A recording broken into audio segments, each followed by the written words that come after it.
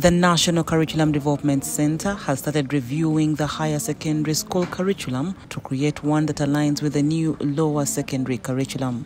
We want to ensure that uh, we expedite the process of curriculum review through all the stages of approval so that by 2024, end of 2024, our curriculum is ready.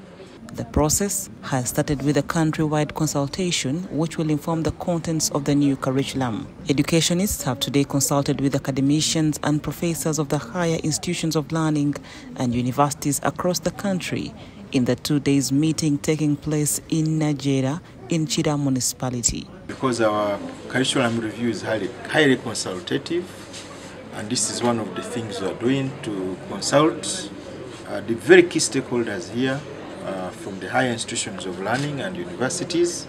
John Okomo, the manager of secondary department at the National Curriculum Development Center, said they want the curriculum to be effective by 2024. And I know we shall be able to kickstart the initial stages, the processes, and we shall be ready by 2024. To, we shall be ready with our curriculum for A level in Uganda. Okomo noted that the current A-level curriculum is filled with a lot of outdated information which is not relevant to the learners given the changing economy. Our learners are just simply learning to fill their heads, to, to acquire lots of knowledge, but we lay less emphasis on how to use this knowledge. The new curriculum will put emphasis on practical studies, ICT and technology, and it will cater for the slow learners, giving them a chance to redo an examination for a particular subject instead of redoing all the exams.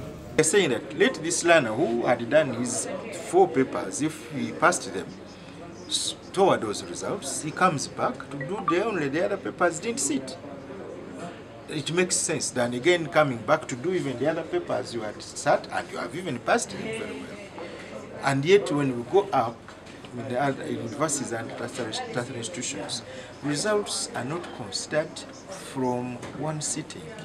The current A-level curriculum was started in 1918 and has been taught for the last 100 years. Academicians raised mixed reactions on the curriculum. Do we really need A-level or we look at dropping O level, and then from senior four, a child is capable of choosing a profession. And then you start building. The problem of Uganda is not the curriculum we have, it is the politics and the governance. So can we deal with the issues of politics and governance, issues of democracy, issues of the constitution? Even if you teach competence-based work and entrepreneurship, in a poor political environment, they will do nothing. The National Curriculum Development Center has asked the Ministry of Education to embark on retooling teachers so that they can suit the changes in the education system. Report compiled by Jaliet Namawaya and Sharon Nawasidi for the news.